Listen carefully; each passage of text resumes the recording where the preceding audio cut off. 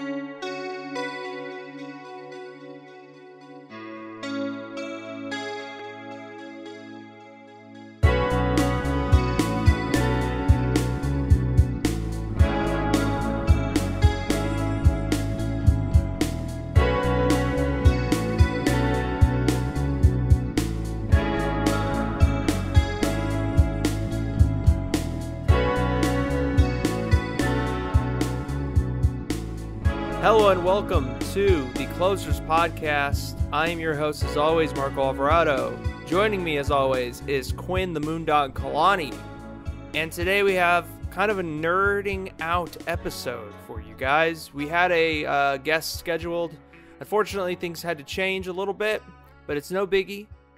Um, we're able to still pull through for everybody, and what we're going to do is talk about one of the things that is very near and dear to Quinn's heart. What is that, Quinn? I I wouldn't I wouldn't just say my heart. I'd say it's near and dear to all hearts. If it, anyone who anyone who has hope in their heart, who longs for something better, a brighter tomorrow, Oh. I dare say. Oh, Uh, we're gonna get balls deep into some MCU news and uh, talk about that for a little bit, and then we'll cap it off with a sports recap like we always do before getting into our weekly recs for the week. Yep. So there's a little outline for you for this specific episode, the 15th episode of our second season. But before we jump into MCU talk, please, I must say, follow us on Instagram at the Closers Podcast, on Facebook at Closers Podcast, and subscribe to our YouTube channel. We are the Closers Podcast. You can follow Quinn on Instagram at quintessential. What was it? Quintessential 39 39. for Action Jackson, Steven Jackson, the greatest Rams running back in franchise history. I forgot that he wore 39, but yeah, it's true. And you can follow me on Instagram, on my personal Instagram, at Marc Avacado. That is M A R C unders- underscore A V A C A D O. And without further ado, Quinn, what news would you like to start off this discussion with? I feel like, regardless of where we start, we're going to be able to hit on really everything we want to just because we are that excited about the new news that has come out um, across the MCU landscape. Oh yes, oh yes. The universe since the pandemic has been has been uh darker for us Marvel heads. Uh more so than other fandoms. But there's a light at the end of the tunnel. This past week, two major major things happened. One was a giant casting announcement, a Jade giant casting announcement. Ooh.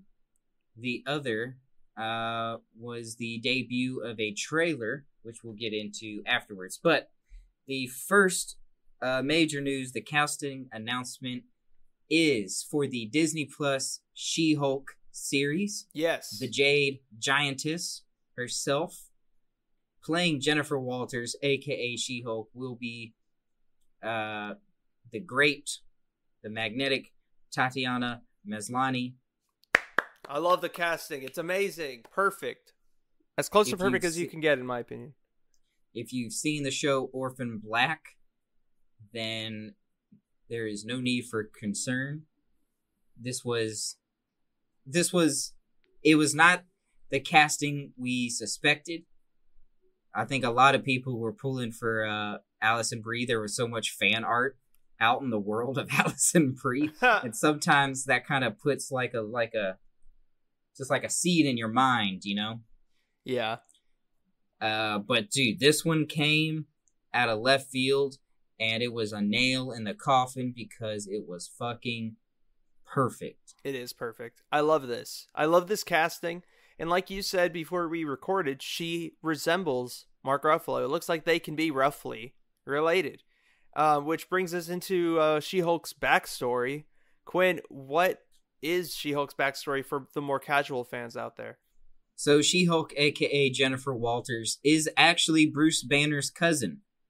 She is a lawyer, and what basically happens, how she becomes She Hulk, is she is gunned down um, in a in an act of gang violence or a uh, a hit, if you will. Uh, gang violence? Erwin would be so beseeched to hear. The hero known as Wundo would be would would take it personal. yeah, he would. Um, so it, pretty much she's bleeding out. She's on the operating table. Um, things are looking grim, and her only salvation lies in an emergency blood transfusion by one Bruce Banner, aka the Incredible Hulk. Bruce ends up giving her his blood, and she transforms into what we all know as the She-Hulk. But there is a caveat Hmm. because it is a second-hand uh, gamma mutate exposure Mhm. she does not um she doesn't go into the uh the quote unquote savage uh the savage hulk phase Yeah. That we all associate with bruce she retains her intelligence and her consciousness she pretty much skips the savage phase and goes straight into what what we bruce banner heads would call the professor phase Oh, or the okay. doc green phase Yeah. um so she so she starts out where we see Bruce Banner in Endgame. She has Oh, full okay. co- she has full cognitive uh, function and control of her whole persona. That makes sense. And uh, the dichotomy is the interesting thing is where Bruce looks at his affl- as uh, the Hulk as somewhat as an affliction, you know, a disease. He's you know I'm always angry, Cap. He's afraid of it. it's like I was made for this. Yeah. it's like I was made for this. Jennifer, when she becomes the Hulk, she sees it as liberating. ah, I see. And so she chooses to remain in her Hulk form for the majority of her day to day life. So she starts, she resumes practicing law again as She Hulk. Her comic, uh, The Sensational She Hulk, which I believe debuted in the early 80s, uh huh. and I haven't gotten too deep into it myself, but uh, from what I understand, that it's a very comical comic, it's Mhm. very whimsical. Yeah. And pre Deadpool, she was one of the first uh, characters to break the fourth wall and address the audience directly. Really? Yeah, yeah, yeah. Wow. So very, very interested to see how uh, how She Hulk is going to develop. Uh, much like we were talking about in our last MCU conversation, Yeah. She Hulk's head writer is another Rick and Morty alum. Uh, it's interesting that so many alum from Rick and Morty are being uh, cherry picked by Marvel, yeah, it is especially especially considering that Rick and Morty have such a uh, such a uh, such a tendency to lean into the multiverse. Yeah, they do. That's like their whole show. Their whole show is basically based around like the idea that there are multiple universes and multiple versions of a person uh, that bounce around from universe to universe, from dimension to dimension. So the uh, the head writer is Jessica Gao. I believe I'm pronouncing that right. Jessica Oh, okay. G A O. Uh huh. Um, and she is quite renowned amongst the Rick and Morty uh, fandom for being the uh, writer of the Pickle Rick episode. Oh God. so the- she will be uh, she will be heading on. The episode that ruined it all in some of their eyes. I, I honestly I haven't seen a lick of Rick and Morty, so I couldn't Oh, tell really? you. I've only seen like you. that episode. I mean, it's a, it's an okay show. Like it's it's a good show. It's just like I don't I just personally don't see the hype around Mm. like the the the ridiculous amount of um praise that that show has gotten. But I mean, it is a good show and I enjoy it, but it's not like I watch it I'm just like, "Oh my god, this show just is talking about you." Like I just I don't It is interesting. I've heard quite celebratory things about that episode. So you're telling me that there's a there's a wide variety of reactions to the Pickle Rick episode. Some love yeah. it, some hate it. because I think what I've seen and what in the circles that I have been in online uh, to a degree that have really liked Rick and Morty prior to the Pick- Pickle Rick episode is that that episode got so viral and so big that people like Mhm. casual a lot more casual people started watching that show where before it was I very see. much a cult following so it put the show into a mainstream into the mainstream Naturally, there'll Yeah. be some pushback against that. Yeah. I understand that. yeah I went through a similar thing when ESPN picked up the UFC. exactly But uh, as we were talking about earlier, it's interesting. Loki is also being worked on by Rick and Morty writer. mm. She Hulk is WandaVision and that I don't know, but I do know that Doctor Strange in the Multiverse of Madness is Mm. also uh, having some work done by some Rick and Morty alum. Interesting. I want to get to Multiverse of Madness in a second, but to transition the conversation a little bit into another beloved Marvel character, if I may.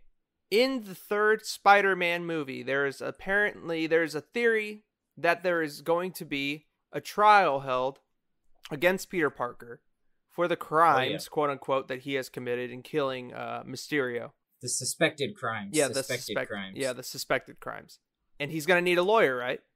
And Mm. that theory, there's two, you know, thoughts on it, from what I've seen now and from what I've heard and gathered, that She-Hulk could very well be that lawyer that defends Peter Parker in that third movie.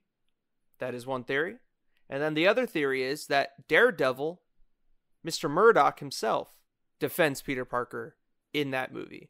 Which which one would you rather see more, and why, Quinn?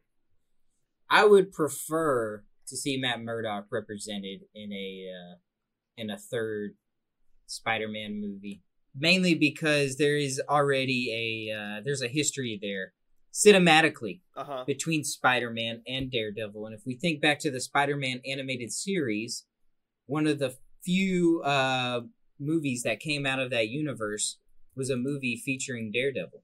What? Yeah, yeah, yeah. Wait, you mean you wait? Do you mean like back when they made like really shitty like spoof versions of them, like back in like no, no, no. This is uh, this is back in the day, uh, directly from the animated series. I remember renting this Oh, movie. animated from- movie. yeah, from Okay, Blockbuster. Never mind. Um, it didn't have a specific title. I think it might have been subtitled "Man Without Fear," but it was just Daredevil versus Spider Man on the old animated series. Remember the theme song? Wow, Spider Man. Yeah. it was like a like like electric riff. yeah, I remember that. Uh, so there is a uh, there's already a cinematic uh prerequisite there. mm. Plus, considering you know, you got Queens, you got Hell's Kitchen, Yeah. you got a man with extrasensory powers and a kid with extrasensory powers. Yeah. Come on, it's right there. It's perfect. Do you think that I mean it's apparent that they're re they're just pretending like the Netflix movie or their Netflix uh episodes never counted in any sort of continuity like they're their own universe basically. They're treating it as such, correct?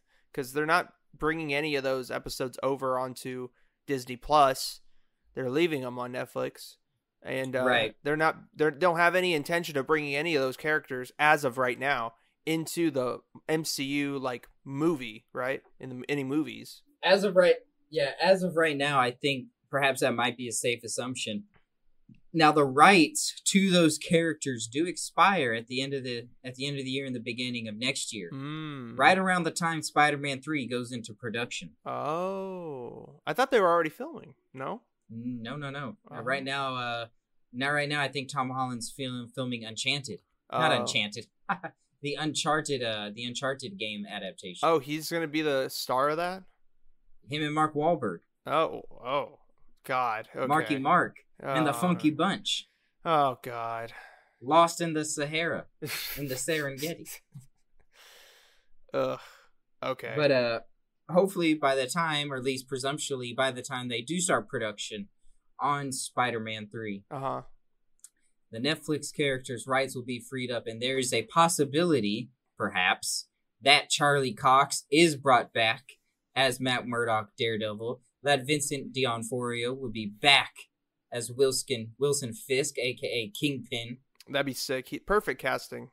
perfect, casting, Perfect. and perhaps, fingers crossed, that Jon Bernthal, the man, the myth, the legend, Shane, would be back as Frank Castle, Frank Castiglione, yeah. aka the Punisher. That'd be cool if they just kept those three like series as part of the cont- like continuity, but they just pretend like the Defenders never happened. I would be fine with that. Personally, I was cool with Jessica Jones. I like Jessica Christian Jones, Ritter too. Did an amazing job as I like Jessica, Jessica Jo- Jones. I like. I like the guy that played Luke Cage too. I liked him too, and uh, they just Sweet have. Christmas. If they just recasted Iron Fist. Iron Fist, it would have been fine. And the thing is, I I feel like they just kind of got tired the whole Netflix thing. So like to see them in movies and at least be like supporting characters of the Right. Avengers on the side, I don't see that as a negative thing. I just don't. I think the the problem was with the Netflix universe is that they were doing like what ten to twelve episodes a season, and that's so much fucking extra story that is not required. yeah. The thing that I love that Marvel's doing is they're doing six to eight episodes for WandaVision for Falcon the Winter Soldier. That coincides perfectly with a six issue arc Yeah. in comics. Six issues is your standard arc, you know, to this day. And so to get six to eight episodes, you know, that's a chef's kiss. Yeah. That's true. That is very true. And also, one show we haven't brought up at all is uh Hawkeye, right? Yeah, Hawkeye's uh Hawkeye's still in production or pre-production. They haven't announced who's gonna play Kate Bishop yet, Oh, they haven't. which I know. I thought they no, did. Which no, no, no. There was uh suspicions that Hailee Steinfeld had signed on, Uh-huh. but as of yet, there's been no official no official drop on any of the new shows as far as casting goes between Hawkeye, uh, Moon Knight, Mm. Yeah. Ms. Marvel, and Tatiana Ma- Maslany as She-Hulk is the first real big uh, cast- casting announcement. Besides, of course, we talked about this last time. Jonathan Majors as Kang the Conqueror. Right. That's going to be cool. Um, but going back to going back to Spider-Man, Yes. there is a uh, there was a post that came out a couple weeks ago From who? that one of the greatest wrestling legends, the Doctor of Thuganomics himself, Oh man. John Cena, put out a post with him of you know some fan art of him as the Sandman, which would be epic. I loved it. I love that that potentialness. That'd be that could- crazy. That, could happen. That'd be super It'd be cool. freaking awesome. Yeah. Would Sandman be able to be used by the MCU per the new agreement? Because they was used in the Sony movie back in the day.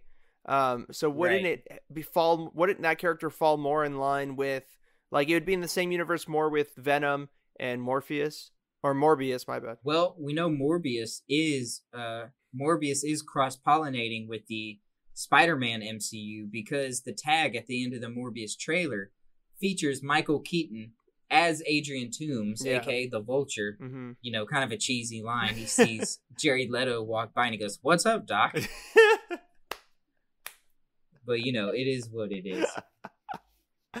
But apparently, you know, according to to some, you know, according to internet chatter, the uh the Marvel Sony uh, relationship has been better than better than ever. Uh, Olivia Wilde has just been tapped to direct a Sony Spider project. People are uh, are uh, speculating that could be Spider Woman Jessica Drew. That'd be crazy. Do you think that Sandman? So would Sandman be the like third movie villain? Because Kraven the Hunter is still like rumored, right? speculated yeah and there's also scorpion if you remember scorpion uh was in episode uh i almost said episode one but he was in spider-man homecoming Mm-hmm. he was running the uh the kind of what was it the smuggling industry on the boat Yeah. and then you know he kind of got into a conflict with spider-man spider-Man kicked his ass off the boat Yeah, and then And at then the he- very end, he just like has it, it, he turns his head. He has a giant scar, and it has like a he has like a tattoo of a Scor- scorpion. scorpion yeah and then in uh in the prison scene the tag scene he meets up with uh vulture adrian Toomes again and he's like i hear you know the identity of spider-man Sp- and vulture you know Is like having a moment of of a strong character yeah, he's like don't know it can't help you pulls a double A on him. yeah. Yeah. so i think i i think it's possible i don't I don't know if uh, Spider-Man Three is going to actually be the Sinister Six movie that a lot of people are hoping for. That's not the way I would go. I wouldn't go that way either. I think it needs more I'd build up. It needs more build up. It's called the Sinister Six for a reason. Let's get five movies deep. And then for the sixth one, episode six, that's when you drop the Sinister Six because. I feel like with the Sinister Six, what makes the Sinister Six so, um, like what makes it work so well is that each of those villains has a giant gripe against Spider-Man. Peter. Yeah, Peter. or Peter. Yeah, exactly. Peter. And and if you just like shoehorn in three of the other villains without giving them a proper backstory, without setting them up at all, right. I don't see I don't I I don't see how that could be successful cuz I mean, you already have seen we already seen Spider-Man 3, the last one, the last Spider-Man 3, And you had three villains in there, and it too convoluted. it was too much. Exactly. So Sandman, Venom, and uh, Hobgoblin. Harry. Yeah. Yeah, Yeah, it was just too much. So what I would do personally is I would take which next villain you want to add into Spider-Man 3. Honestly, if they use Scorpion for Spider-Man 3 or the the third, you know, of the Homecoming and Far From Home series, right. I would be fine with that. Um I'd be cool with it too. or even if they have John let's say John Cena is casted as Sandman and I don't think he's actually part of the Sinister 6 in the comics. But um I, he's part of he's part of some iteration. There's been hundreds of iterations of the Sinister Six. He may not be one of the original members. I'll look up the original members. The original Sinister Six consists of Doc Ock, yeah, that's not not gonna not gonna be featured. Electro, not gonna be featured. he died, yeah. remember, remember Jamie Foxx freaking oh, played as Electro No. in the Amazing Spider-Man Two What, and what was the guy that that Shocker? The Shocker, Shocker. I like Shocker. He was always one of my favorites. But remember, the first Shocker died, and then the uh, the black dude picked up the gauntlet, True. and he lived. Yeah, So the original Sinister Six is as follows: Doc Ock not going to be in it, Electro not going to be in it, Kraven the Hunter, possibly. We do know J.C. Chandor has been tapped to write and direct a Kraven the Hunter movie. I think that's stupid, but who knows? um, Mysterio, Jake Gyllenhaal, yeah. Vulture, Michael Keaton, and your sixth original member of the Sinister Six is in fact Sandman. Really? Okay, Yeah, yeah, so yeah. in that case, yeah, then you can have Sandman be tapped in. Honestly, and this is gonna shift us actually perfectly to the next little topic we're trying to hit on. We're just hitting these topics today, man. I'm proud of us. We're moving along. If they get, I believe his name is Alfred Molina back to Is Doc Ock? as Doc Ock, it could very well work out. And now, let me no, I know you're shaking your head, but let me tell you how. We already touched on this idea before with Rick and Morty. The multiverse, my friend. The multiverse.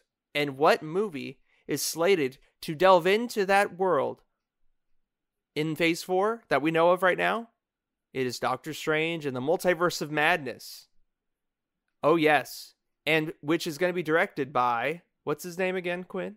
A little known director.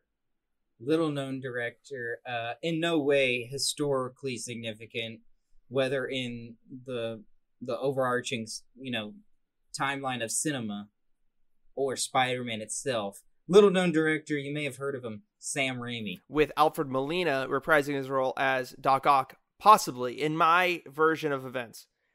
Mm. The the multiverse would open up during that first battle at the bank between Doc Ock and Peter Parker, played by Tobey Maguire. Where he took Aunt May to the bank. to Yeah, get- yeah, get a loan. yeah. So so Doc Ock is in the is in the thick of his hatred towards Spider-Man. He hasn't seen the light yet, both figuratively. change at him. Yeah. Both figuratively and literally has not seen the light yet. And um and the multiverse opens opens up and they fall into present day New York City in the multi like through the multiverse jump into the current timeline of MCU and Doc Ock links up with um with uh the other members, you know, Vulture, Scorpion and you know uh Sandman if you know that's going to be a thing at the time or Kraven or uh Morbius as well. Mm. That that in my opinion would be really really in, in like really fucking awesome if they just kind of like tapped into the idea of there's multiple universes and in this one case, you know, there's this crossover that's able to happen and then Tobey Maguire and Peter Parker, like the Tobey Maguire Peter Parker and the Tom Holland Peter Parker team up uh down the line and take on the Sinister 6. That'd be pretty fucking sick. That'd be pretty awesome. I uh it's a good idea, but I venture very differently from it. My idea for the Tom Holland Spider-Man overarching is nine solo films. Three that take place in high school, three that take place in college, and three that take place as Peter Parker as an adult. Uh huh. This next Spider Man, I think, no Sinister Six. Your villains should be Sandman and Scorpion. Multiverse of Madness, I don't think it should bring in Doc Ock. I'd like to see a new Doc Ock. And I'd like to see a different I'd like to see a different story spin on it. Wow. And I like to see a different actor take it on. But in Multiverse of Madness, this is where we establish that the Sam Raimi universe is in fact canon, just a separate universe than the one we know Marvel 616 616 Mhm. quote unquote Yeah. the cinematic universe and that that is in fact the ultimate Marvel universe the universe that breeds Miles Morales Which one? Ours or the one that has the To- Sam Raimi one Okay, the Tobey Maguire, Sam Raimi. Okay. with eventually what happens is Tobey Maguire dies and passes the mantle to Miles Morales Mm. bam that's how that needs to go down I, we yeah. introduce the ultimate universe by having Tobey Maguire Spider-Man help Doctor Strange in Multiverse of Madness, you know, you know, settle all those threads, Mhm. pun intended. And um yeah, that's where I would go with it. That's where I wouldn't I wouldn't go you would I think you're right to hold off on the Sinister 6. That needs to happen down the line. you wouldn't ha- where- you wouldn't have Tobey Maguire and Tom Holland meet at all. No. Oh, come on. That has to happen at least once, man. Even if they fight, even if they fight mm. just like some great, like Rhino, even if they just fight Danny DeVito as Rhino or some shit, like, like that would be just fan service. Like, come on. That has to happen. I would love See that that wouldn't happen in a Marvel in a MCU proper film. There's no way Sony would let that happen. That would happen in a Sony partnered with Marvel film. When they do a Spider-Verse film, that may happen. Then how would we be able to have Tobey Maguire in the uh multiverse of madness? As a supporting character, he can be featured Without in Without- in a without- MCU proper film without Tom Holland. I mean, they'd have to work it out between Sony, okay. but I think Sony would be on board with it because it would build so much hype. yeah. And we, we got to remember, you know, we don't want to commit so heavily to the Spider Verse. We just want to give a little tease, a little a little appetizer, a little sample platter. Yeah, you're right because that can be expanded upon down the line. And when there's Right. already so many other properties that are slated to be introduced, like X Men and Fantastic Four. Right. And you also got to remember one of Sony's biggest financial uh, boons is Venom. Yeah, So there's no way they're going to do a Spider Verse and not include the billion dollar franchise known as Venom. do you think that? Do you think that the uh that Sony would be Sony is where the Sinister Six movie would take place, as opposed to in the MCU? Do you think that that? no, I think it would take place MCU proper. You think so? Sony Sony needs to be built up as the Marvel Ultimate Universe, the universe that ultimately gets destroyed when Doctor Doom, you know, when the incursions start happening. We've talked about this before. Secret Wars, Mm, when universe, the multiverse starts collapsing onto itself. yeah. That's uh, that universe that collapses directly with the main Marvel universe is known as the Ultimate Universe. That should be the Sony universe. And that leads us directly to another rumor out of Doctor Strange in the Multiverse of Madness that there may be some recast of some characters we well know. Who? I don't know if you're familiar to this, Margot, but there's been a Who? potential leak No. or a snippet of a rumor No, don't tell me it's so. there there can be a Ultimate Universe Iron Man and Captain America, and two names being tossed around: Tommy Wiseau and Greg Sestero. Tom Cruise and John Krasinski Oh my fucking god. as the Ultimate Universe version of the Avengers, Captain America and Iron Man. Imagine. I'm just I mean like Could you imagine a Ultimate Universe Avengers with John Krasinski, Cap, Iron Man, Tom Iron- Cruise. Tony Cruz, Tobey Maguire, Spider Man. And how about this? What if we also did Ed Norton or Eric Bana Hulk? And then who would play Thor? Who's an alternate be- universe there- cast? There doesn't have to be a Thor on that team. No, it could. It could be his brother. Um. Uh. Liam Hemsworth. yeah, Liam Hemsworth. Or or yeah. you bring in old man Logan, Hugh Jackman. Oh, I don't know. He died. His arc's done. I don't Oh, understand that's how true, how that's that true, could. I don't know how that could make sense. But if there's one thing that the old X Men know how to do, it's to not make sense. So, in that That's respect, also true. That's also true. Or you could do X twenty three. Oh yeah, Wolverine's daughter clone, yeah, you could, you could. Who, and that that could be the alternate universe team. That'd be pretty gangster. They have to help Doctor Strange. who could be the Wesley Snipes? Or, or, or- I just gave it away. Who could be the uh the the the, the Nick uh Nick Fury? Nick Fury? Wesley Dude, Snipes. David Hasselhoff. David Hasselhoff played Nick Fury back in the day. Really? Yeah, you didn't know that? Mm-mm.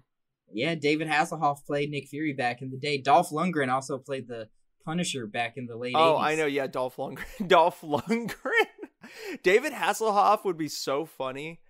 Dude, he honestly is the most comic book accurate looking Nick Fury of all time. It's just funny though, imagining all of these actors who are pretty fucking old, minus uh, John Krasinski, um, like being superheroes. It's like it. I, it- I well, Tom Cruise is around the same age as Robert Downey Jr. yeah, but Robert Downey Jr. Let's put, let's face it, looks better. Immortal. Looks better than uh, Tom. Tom Cruise looks pretty good. I mean, you're talking about a guy who does all his own stunts. Sure. Put some respect on Tom Cruise's name. No. I, I respect them. It's just like, man, it's just hard to imagine anybody else playing one of my favorite characters. And uh, It, it would be risky business, but we could get Nah. it done.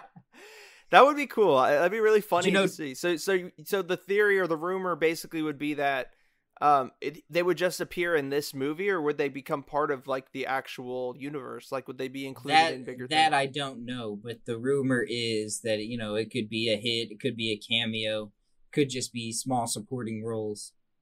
But it would be funny since Tom Cruise was the number one choice to play Iron Man before Robert Downey Jr. Mm, and John Krasinski auditioned to be Captain America yeah. and came in like second to Chris Evans. I yeah, Chris Evans when he first was casted, I was like, the Human Torch, really, Flame on! really? yeah, I'm like, really? Doesn't make sense. He was perfect as the Human Torch too. That'd be funny if if he made a cameo as the Human Torch. As the Human Torch, that would be amazing. That has to happen now. You know, uh, Ryan Reynolds pitched that for Daredevil. Yeah. it didn't go through. Ah man, that'd be hilarious though. He just like comes back as like with with the mid two thousands hairstyle too, the frosted tips and everything he had in that movie. That'd be hella Dude, funny. he was he was the saving grace of that movie, man. really? Chris Evans, Chris Evans was the best part of the Fantastic Four one and two. You think so? Oh yeah, late two thousands as Human Torch, he was perfect as the Human Torch back in the day. He was. nailed it. He nailed it. He did. I really like the actor who played the thing too. I just feel like he did. Michael Chiklis. I feel. oh my god! Yes, Michael Chiklis. I, I I always felt like he didn't get um enough credit in those movies. I always thought John Cena would have been a good choice to play the thing. I know you've always been a you've always been a uh, a, a staunch John Cena thing. Uh, dude. I, I feel like his character, his personality. I was never a big fan of his, of him when he was in the WW WWF world. yeah, Did not care whatsoever. The Doctor of Thuganomics. yeah. Whether I'm fighting or spitting, my discipline is unforgiving. but uh, with his personality, his charisma, oh, I think he he's a great fit to play a superhero, villain, or hero. yeah, If if coach if directed and coached right. I mean, look how well Dave Batista has made that transition oh yeah. He's he wouldn't it into it wouldn't- the Destroyer. it, it wouldn't that be helped him. Guardians of the Galaxy without Batista for sure. Oh, dude, and that helped him build his acting uh toolkit, his repertoire to Blade Runner 2049 and in Dune Yeah. this fall Yeah, or Christmas. yeah. With wait, who else is in Dune? Is it our boy? Khal Drogo, Jason Aquaman. All right. I thought uh, Timothée Chalamet. Timothée Chalamet is also in it. AKA Marco's alternate universe Marco. oh god. Grew up in an all white neighborhood in the northeastern United States. Oh god. The beautiful boy himself.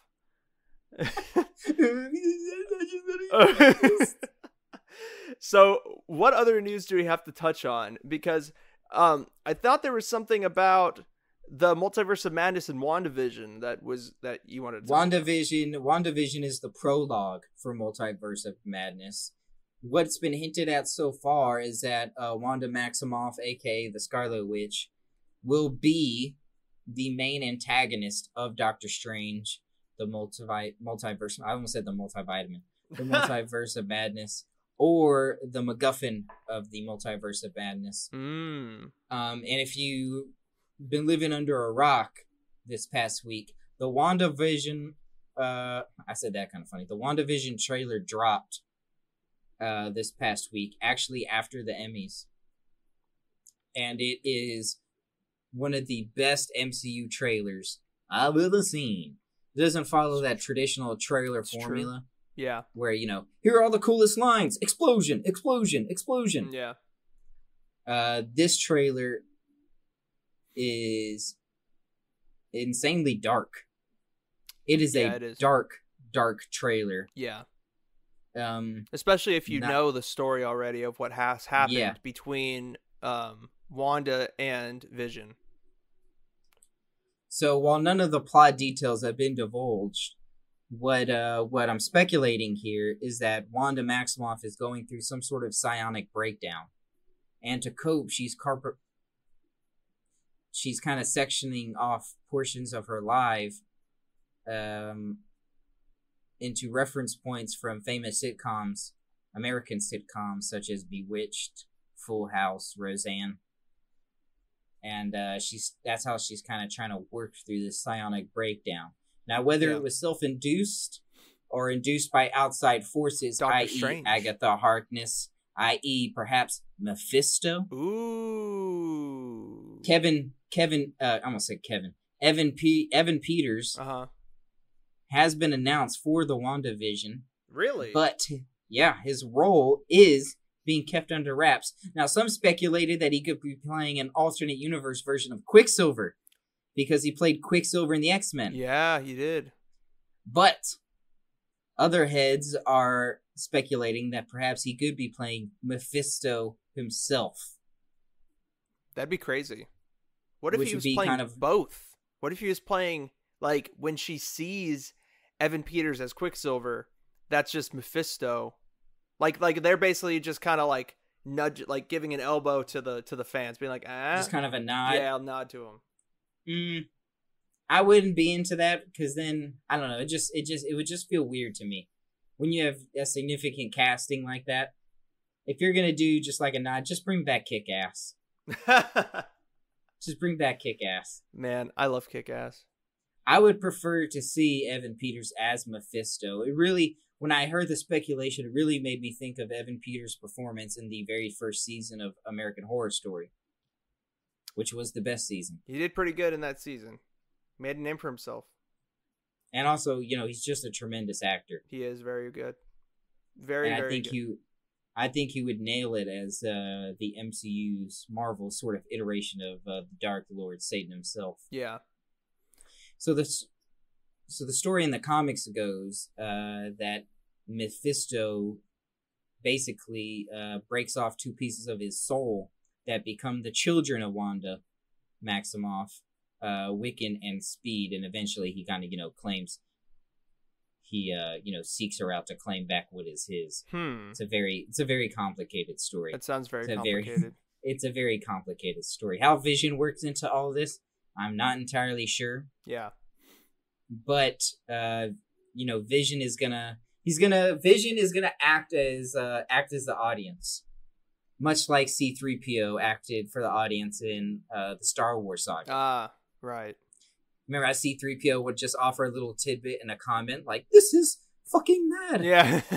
you know shit would just be going off yeah. there's a and the part in the trailer that gives this not get that gives it away but helps me speculate this is when we see him back in his like you know age of ultron get up and he comes uh you know ascends down onto the street Uh, and he touches Kathryn Hahn who is speculated rumored heavily to be playing agatha harkness. He mm, touches her head and she's like am i dead? And he's like no why would you say that? She's like, "Cause you are," and he just has this complete bewildered look on his face, and he has the Mind Stone still in his head, Yeah, he does. the Infinity Gem. So it makes me believe that is Vision actually real, Yeah.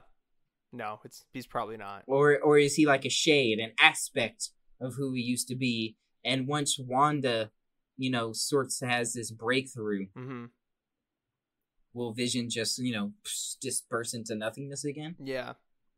It is interesting. All these questions, like when and when do do we know the date of release for WandaVision? December. It will be the lone MCU project of 2020. Wow. It will come out in December, So it- most likely off the tail end of Mandalorian season two, which debuts in October. So technically, this is the first property of Marvel that is part of Phase Four officially that we will be getting. Oh yeah, And they didn't intend for that to happen. They intended for Black Widow to be the first thing. Black Widow was supposed to come first, then Falcon and the Winter Soldier, then WandaVision. Mm. So it is it is interesting that they kind of switched it around. But it is important to note that Black Widow was pushed back till May of next year. And when is Falcon and the Winter Soldier supposed to come out?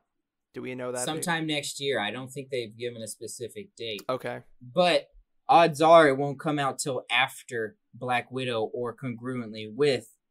Because while Black Widow doesn't necessarily affect the timeline as was, hmm rest assured there's going to be tidbits and Easter eggs in Black Widow that will affect the timeline going forward. Yeah, that is true.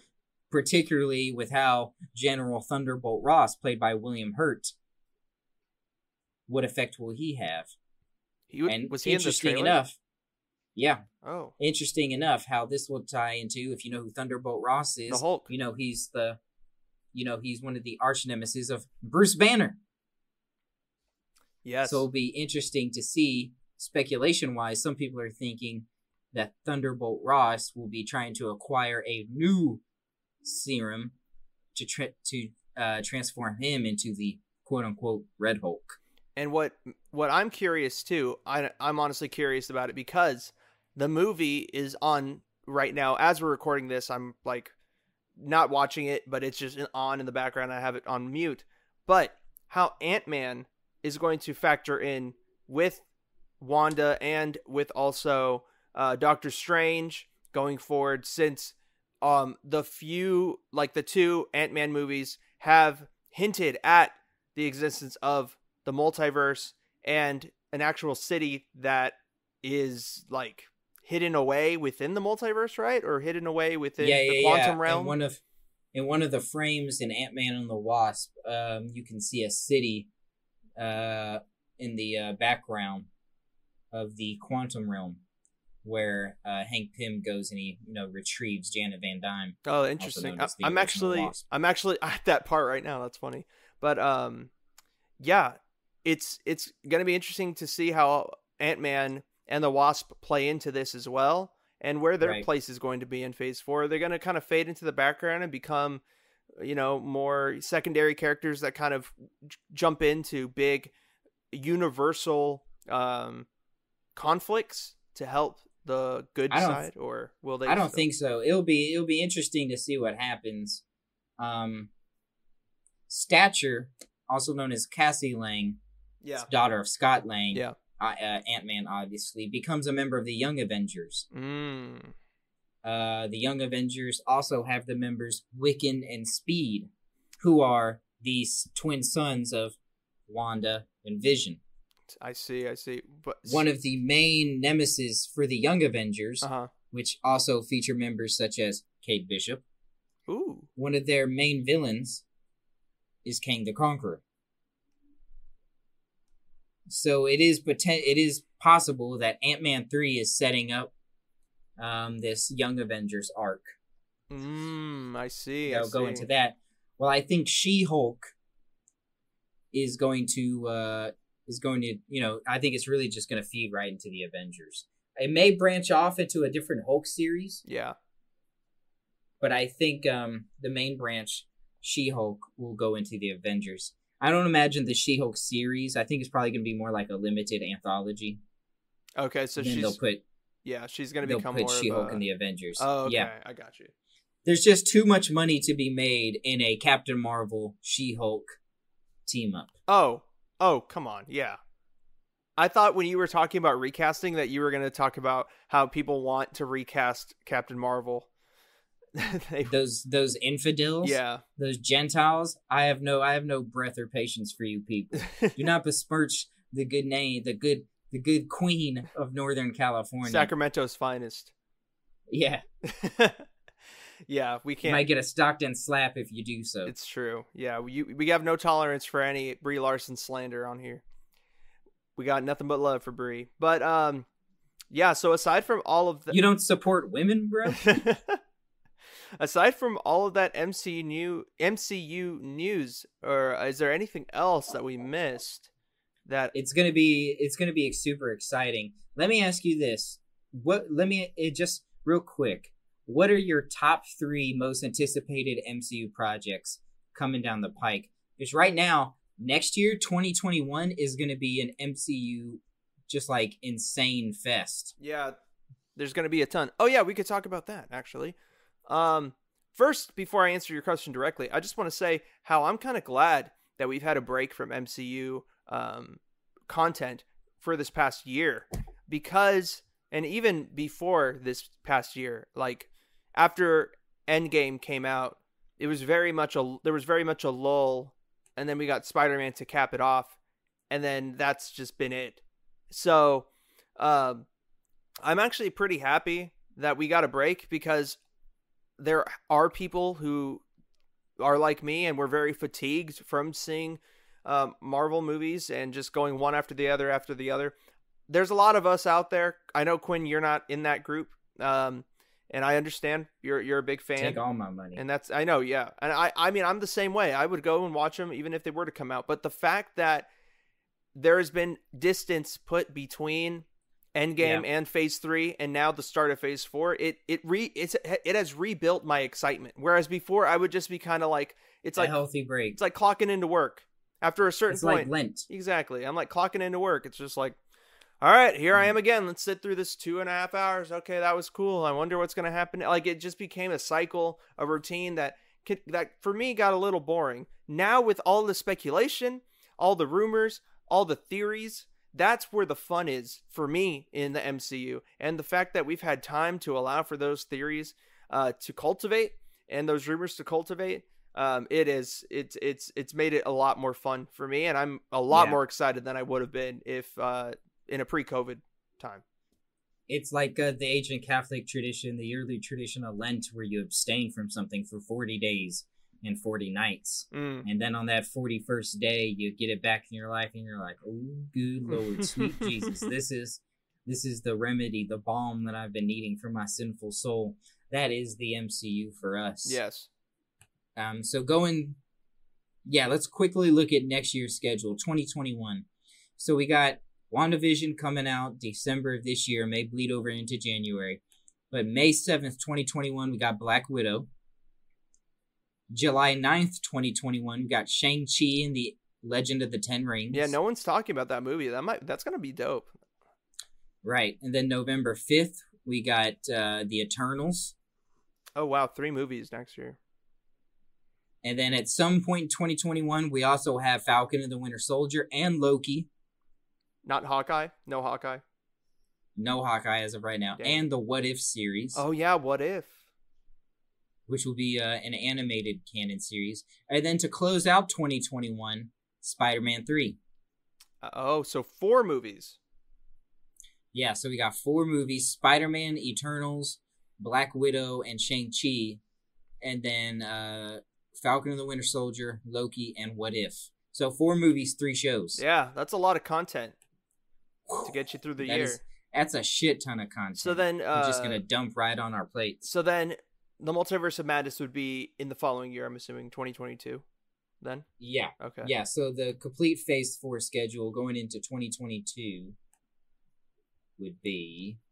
Uh, I think uh, Thor Love and Thunder is the first one to come out. ah yes Uh, with- probably February of uh, with Taika Waititi directing again, correct? writing and directing again, yeah. So it should be pretty gangster. Yeah, Thor: Love and Thunder, February 11th. Doctor Strange and the Multivi- Multiverse of Madness. I'm said multivitamin again. March 25th. And then in 2022, Hawkeye, Ms. Marvel, Moon Knight, and She Hulk series all to be uh, coming out That's gonna be sick. So in 2022. to answer your previous question directly, which I meant to, and I just I honestly just forgot with my little rant about how I'm glad that there's been a break. Um, the three proper or the three pieces of content that I'm excited for the most. Um, Hawkeye is right up there. Can't wait for that. I'm gonna be 25 by the time it comes out, but I'll be I'm still excited for it. Um, supposed to pull directly from Matt Fraction's uh, Hawkeye run, which introduces Kate Bishop, which is one of your most uh, one of your favorite comic book runs. Yeah, exactly. That is up. It is my favorite comic book runs of all time. It's just a great comic book. I highly recommend uh, that run for anybody who's interested. But that's It my really uh, what was that? it really humanize it really humanizes uh, Clint Barton in a way that uh, that not a lot of other comics have. I've just now been getting into it. oh, really? Yeah, no, And it, yeah, it's uh, awesome. It really uh, it really boils him down to his bare essentials that he is at his core a human being, a man with no like extravagant superpowers. Exactly. We definitely got to do an episode just on that series because it we can I can go all day about it.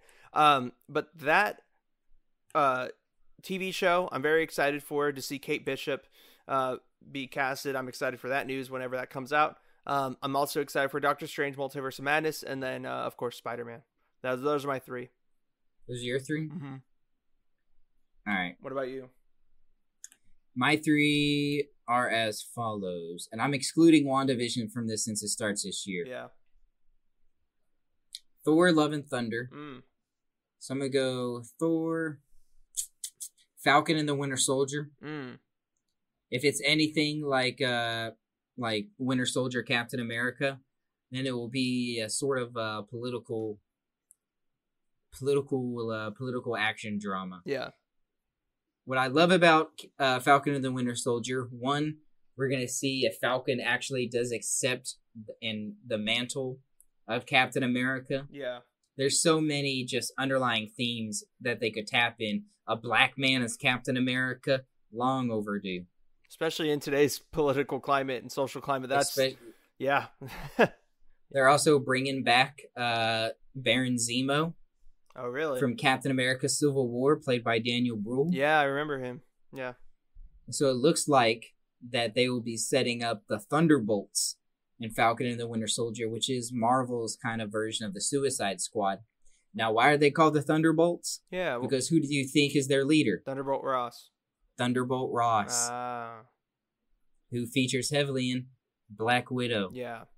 That they're introducing a younger Black Widow in. So it's very possible that Yelena Belova, played by Florence Pugh, could be the first member of the Thunderbolts. oh, interesting. who could act as somewhat of a state-sponsored Avengers team. So that could that could be very interesting. And then my uh, the last thing I'm looking forward to the most, I'm really looking forward towards the uh, the Eternals and how that's going to expand on the cosmic lore of uh, the Marvel universe.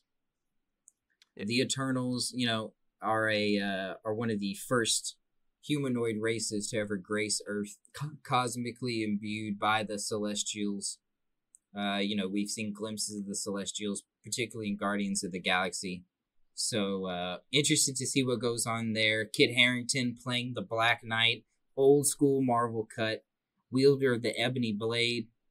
Um, real solid metaphor for addiction, Mm. the woes of being tied to addiction. So, I'm really interested to see what could happen there. Kevin Feige also dropped a nugget that, you know, if, if how audiences were spent at the Black Knight, it could be possible he's rolled over into the Avengers. So it'd be really cool to see uh, Kit Harington.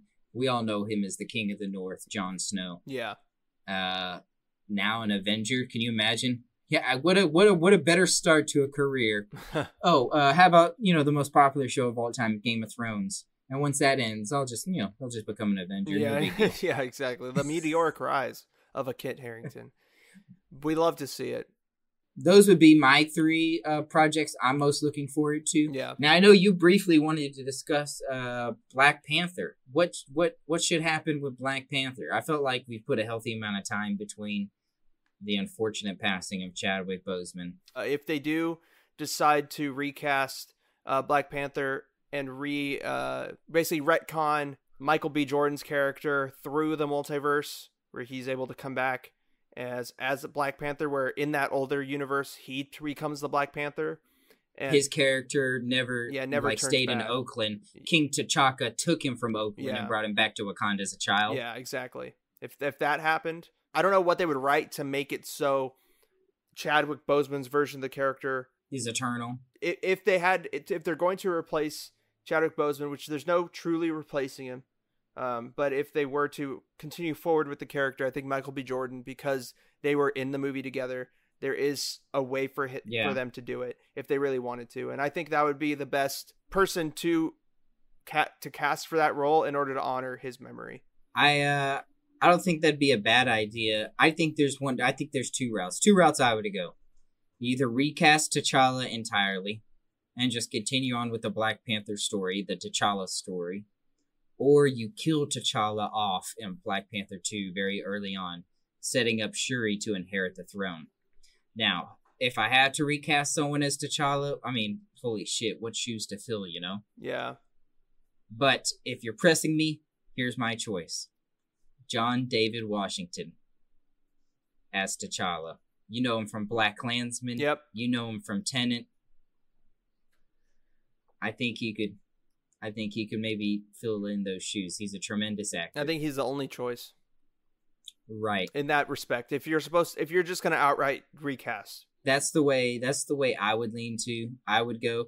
But if you weren't gonna go that way and you want Shuri to inherit the Black Panther role, then I understand that and I wouldn't be against it. But then the question becomes what happens to T'Challa? What happens to T'Challa? Well, I would vote that he dies early on in the second Black Panther 2 movie. But then the question becomes at whose hands do he does he die by? There's really only two choices. Namor the Submariner, who is, you know, Marvel's first superhero, even though he's been kind of morphed into an anti-hero. Or he dies at the hands of Doom. That's the pick. That's Von the pick Doom. that I would do. I would I think he would he should die. If he's gonna die at the hands of anybody, it has to be Victor Von Doom. Doom. It's the only one thing that makes sense to the me. greatest villain in Marvel history. What better way to villainize somebody than to have him kill King T'Challa in the opening moments of Black Panther 2? Yeah. The world would find him absolutely and utterly repulsive. That's what I'm saying. And and also um I mean it's a perfect it's a perfect setup as well for uh, Doctor Doom, not just because the world would find him, you know, like disgusting and and evil right. and as an evil entity, but also it kind of leaves Chadwick Bose- Boseman's memory as his as his death is the catalyst for everything else that happens in Phase Four. So it's not right. just like they just write him out and then um, would be Phase Five at this point. Oh yeah, Phase Five because Black Panther Two is going to come out later on. Yeah, yeah, yeah. Yeah, probably 2023. Yeah, it was already slated for to be kind of a longer release. So if they if they introduced um, Doctor Doom in another movie and then he goes to Wakanda and kills uh, Black Panther, that would make that would make it very very interesting and also and like I like we I just said it would basically set up the, everything going forward for the next two phases aside from 4. You're talking about the Darth Vader of the Marvel universe. You have to nail Doctor Doom. Yeah. Doctor Doom served as one of the inspirations for Darth Vader. It has to be nailed pitch perfect. Let me ask you this. I have two casting choices off the top of my head who I think would be perfect uh-huh. as Victor Von Doom. Okay, who? Let me ask you if you have any off the top of your I head. I don't. So you could just say what you're what you're There's been two that I've been thinking about for a while. One of them is a Game of Thrones alum. The other one is a Christopher Nolan Batman verse alum. The Game of Thrones alum I would choose is Nikolaj Coster Waldau. Is he the guy also who plays known, Ramsay Bolton? No. Oh, okay. I was gonna say. He's Jaime fucking Lannister. Oh, okay. Jaime Lannister, yeah. Who has the best arc overall in all of Game of Thrones, the books and the show, to be 100% honest with you. Uh-huh. And you need someone who can portray that sort of arc for Victor Von Doom. Let's say in a hypothetical world you were to bring Doom and he would kill T'Challa. Well, here's the cold hard facts. To the world, he's a villain to his country, He's a hero. he's he's a hero. So you need someone who can juggle that perfectly. Who better than Jaime fucking Lannister? Yeah. I, To do that. I could see it. Yeah. My other option would be if you've seen Peaky Blinders, if you know who Scarecrow is, I would choose Cillian Murphy to perhaps play Victor Von Doom. Wasn't he already in the MCU? I thought he was already a character in the MCU before. No. No? Okay. No, but I also think he would be absolutely perfect. If you want to do some research on Cillian Murphy, one movie I'd highly recommend is Sunshine, directed by Danny Boyle, also starring Marvel alum Chris Evans. Hmm. Yeah, Cillian Murphy would be awesome. He'd be like a really awesome, perfect, like safe pick. Right. Yeah, there's already a ton of fan art out there for him as Doctor As Doom. Dr. Doom. It, I mean, it works perfectly, but I just think it, it. If you're gonna cast Doctor Doom, you have to cast Reed Richards, and you have to make sure that there's chemistry there. That that Right. you can't have some like scrub. Not I, they're not gonna cast a scrub to be Reed Richards, but you have to have a, an actor on the same like level as Cillian Murphy Right. as like you have to have a guy on on his level as Reed Richards too. It can't just be. I'm really- you know, as part of the reason why I'm really hoping that uh that John Krasinski is going to play an alternate universe Captain America because I'd like for him to play the main Marvel universe cinematic universe Reed Richards. yeah, So I'm hoping that that rumor is really just you know a bunch of hubbub. yeah. I hope so too because I feel like he is the perfect pick. Him and his wife too. Um, Oh, I mean, come on, is freaking Emily uh Emily Blunt is as Sue Storm. yeah, it just it kind of writes itself, and I think that's why that fan casting has has has gone has gotten so Wild. yeah wildly popular is because it's just so perfect. It is so perfect. It just doesn't make any sense. Uh, why why you wouldn't go that route? And and I'll say it again. We say I say this every time we talk about the Fantastic Four on this podcast, but Rainn Wilson as the Mole Man for the Fantastic Four movie has to happen perfect. even Has to happen. even if it's just in the beginning of the movie um where it's where like they're they're stopping like a really like small side hero or side villain um in the beginning of the movie uh it'd be perfect like mole man you have to do mole man you just got it you got to do more. in a, in an alternate Marvel universe, Stanley should be playing Nick Fury. Just get all the office. yeah all the office, from yeah Pam plays Pepper Potts. and then and then michael uh what's his name um oh man Michael Scott. Yeah, Michael Scott, but like the Steve Carell plays like a like a like a dude like a, you know how they're in Hollywood they have those those people that walk around in costumes playing like pretending like they're a Yeah. superhero or a supervillain. He's one of those people pretending to be Doctor Doom. Oh, that would be hilarious. That'd be Michael super Scott is Doctor Doom. Michael Scott as Doctor Doom would be super funny. Personally, Toby is Doctor Strange. Toby, Toby, yeah, yeah, we'll see. I it'd be it'd be interesting to see how they would they would handle every every character, but um, that would be really fun to see. And I I just I have to throw that in there every time I talk about the Fantastic Four. It'd be really funny to see Rainn Wilson as Mole Man, for sure. It'd be perfect. It'd be perfect. I think he would be. He should be the main villain of the first Fantastic Four. yeah, why not? Build up Mole Man. Doctor Doom can can come later. Definitely come up. Well, you know, dude, he's he's above Thanos level. Yeah, Like, honest to God, as much as I love Thanos, especially now that Thanos has passed Darth Vader as the most search antagonist in Google history. Really. So respects to the MCU and respect to the master Josh Brolin. But uh Doctor Doom has to he has to exceed Thanos level. He has to, man. Doctor Doom is the bad guy. He is Marvel.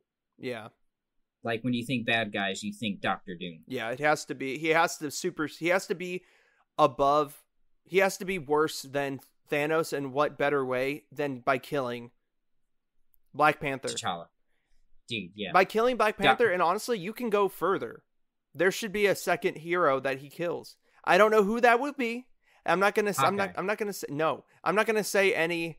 I'm not gonna. I'm not gonna name names. But I'm just saying if he, if if that if Doctor Doom is the way that they're going to kind of thin uh, out the Marvel cast, the Marvel uh, catalog of heroes a little bit, because there are with all the new characters that they're unveiling too and that they're going to be bringing in, it's going to be difficult to juggle everything. If you thought that how they handled phases 1 through 3 was great, I mean they're they're not going to stop introducing characters. I mean the X-Men is on the is on the horizon. Fantastic Four is on the horizon.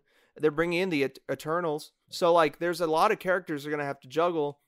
And if they're going to go down in the multiverse, they're going to have to, you know, be able to handle all these different characters. At some point, they're going to have to either kill off characters or write them out. And what better way than to, than to than to bring in Doctor Doom, who is the Marvel bad guy? Would it be hilarious if he killed Loki? If Loki just died every time, like there was a, uh, a an Infinity War Endgame event. He just Loki dies. was the guy who dies. That would be funny. that would make sense. That would make a lot of sense. Well, the thing about Doctor Strange, what makes I mean Doctor Doom, which makes him such a uh, worthy adversary, is that he's able to blend the uh, technology and the mystic arts. He's like an Iron Man Doctor Strange fusion. yeah, So if he's going to take out anyone besides Black Panther, strong strong consideration that maybe it should be Doctor Strange. I agree. I agree. Um, that would be really Or maybe maybe he's the one that takes out Wanda and restores balance to the multiverse. Yeah, possibly. It'll be very interesting to see where things go. He turns into a hero. People are like, yeah, Victor Von Doom, he's the man. yeah, it'll be interesting to see where things go. But right now, I think we need to go over to the sports talk and then hit with weekly Recs. So, hope you enjoyed this conversation. But here is our NFL games of the week.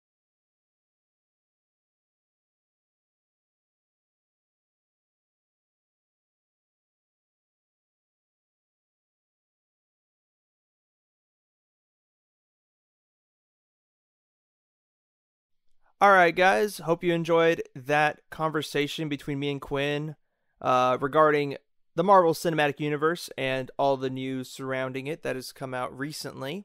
Now it is time for our weekly NFL talk, uh, where we give you our picks for the games of the week for week four. But first, we're going to recap the games of the week for week three, which one of them just finished tonight. We are recording on Monday night this segment, and the Chiefs utterly toppled the Baltimore Ravens, uh, a grand total of 34 to 20. Uh, Patrick Mahomes scored a f- total of five touchdowns. Uh, Lamar Jackson just could didn't seem to be able to get anything going. Uh, only threw for 98 yards, and uh, I believe he ran in one touchdown. Uh, So, Quinn, it's it appears that Patrick Mahomes heard you, uh, and your your uh, disdain for his uh, team last week, and just answered the call. Well, I'd say disdain is a strong word, but it was definitely a call to action for young Yeah. Patrick Mahomes. Um, look, I mean, standout performance. You know, I think ultimately, for me, you know, I hesitate to put him in the uh, in the Aaron Rodgers elite of the elite class based on the body of work, which I'm sure you know he'll make up in time. But as of right now, I do think he's in that second tier. Um, and I would have had Lamar Jackson in that in that tier with him. I still do. I still do. It was a poor performance by the Baltimore Ravens this week, Yeah, but just beneath, you know, like a Rodgers and a Russell Wilson, you have, you know, the, the Rodgers and Wilson are to me the one and two quarterbacks in this league. Right, really. right beneath them, I would go uh, Mahomes, Lamar Jackson. J- would Josh Allen be in that second tier for you as well? Not yet, but as of right now, Josh Allen, I think is uh, is the MVP. Really, in your opinion?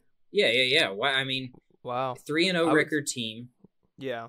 Uh, he's thrown four touchdowns in what the last three games.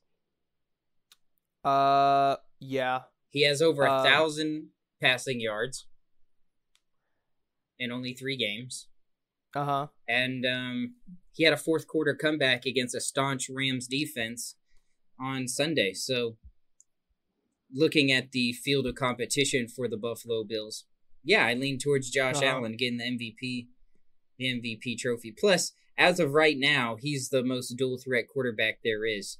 I think the real competition for Josh Allen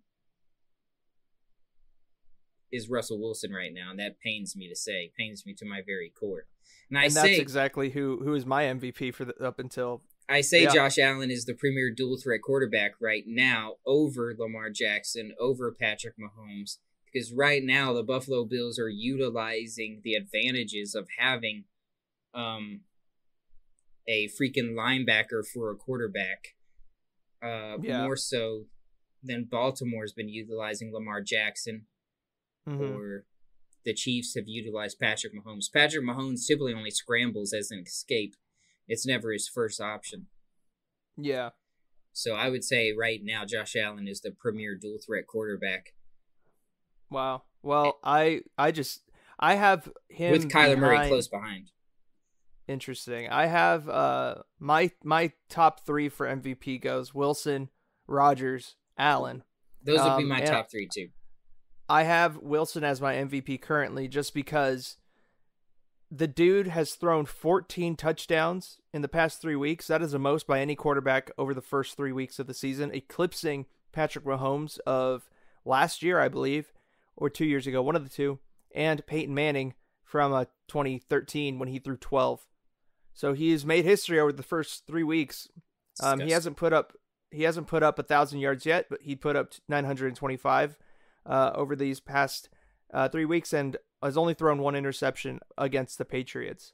Um, so he it would have been 15 touchdowns if it wasn't for DK Metcalf getting sloppy with it and uh, getting uh, his catch punched out Mhm. by the defensive back for the Cowboys Rugs. All those big but- weights he's lifting in the weight room, ain't none of it going to help that tiny brain. How could you make such an error? That was a pretty uh that was a pretty crazy error, but because like JV Metcalf.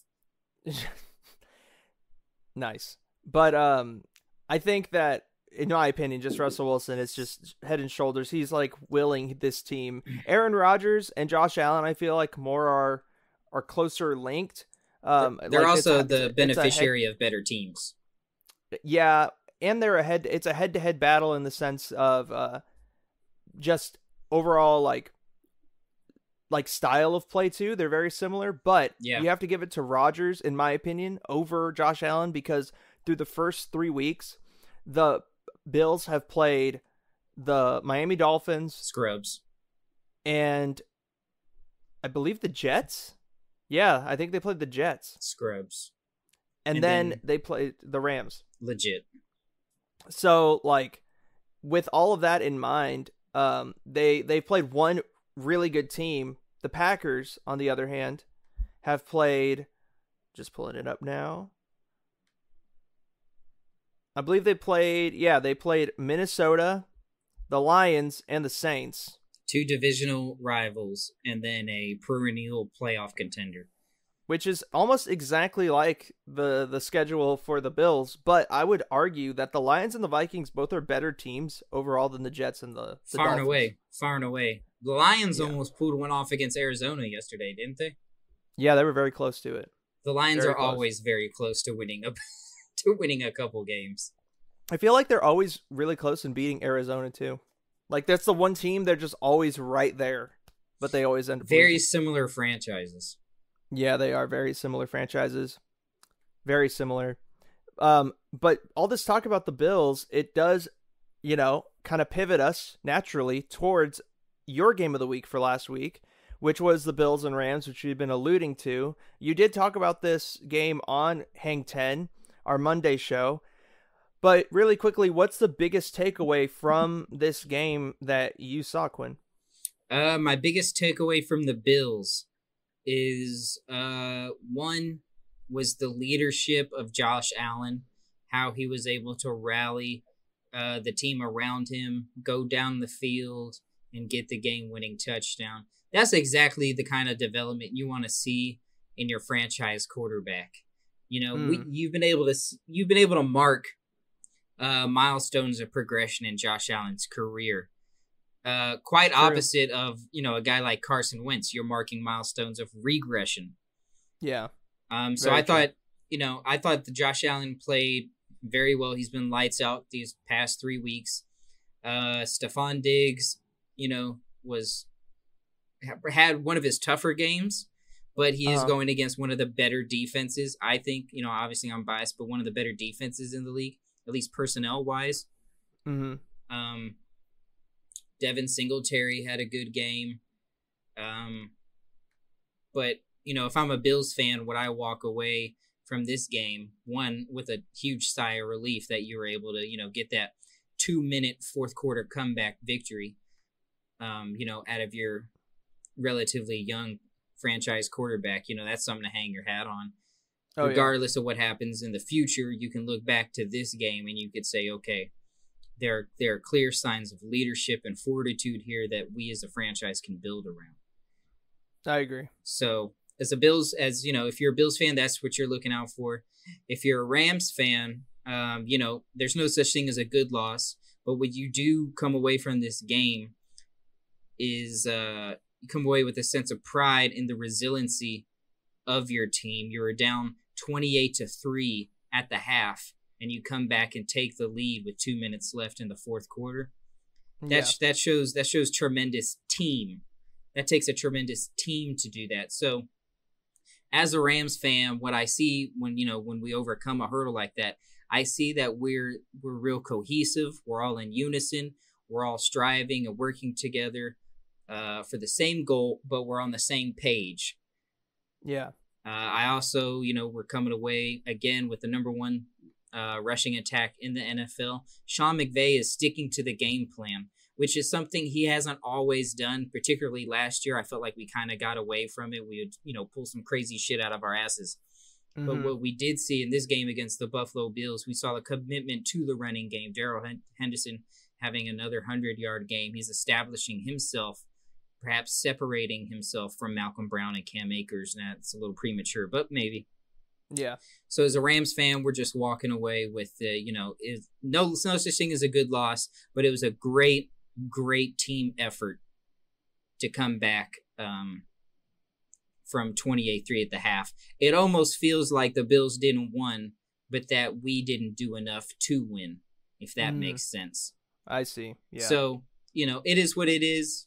Uh, we'll be looking. I think these are two playoff teams.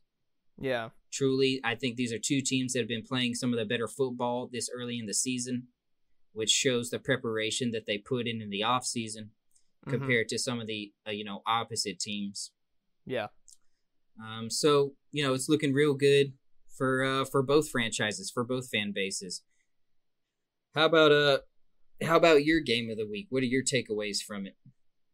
Yeah, real quick for my game of the week, which was the Ravens and Chiefs. I mean, my takeaway is that Patrick Mahomes, uh, unlike your take, which I respect, I mean, I understand it definitely.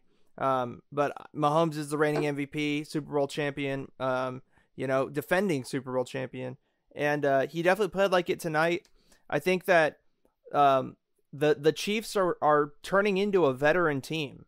Uh, you know, like you look at the veteran teams of the league led by veteran quarterbacks such as Russell Wilson, Aaron Rodgers. They're able to have games where they don't necessarily play to, to their level that they could, uh, much like they did uh, against the Chargers uh, a couple weeks ago. They very much squeaked out that win. They didn't dominate the Chargers, which they probably could have, but they didn't. And but yet they still were able to win. And that's those are the types of wins that you need going forward to be able to uh, even when you're not playing your best, you still are able to pull it out. And those guys, Russell Wilson, Aaron Rodgers, definitely do that.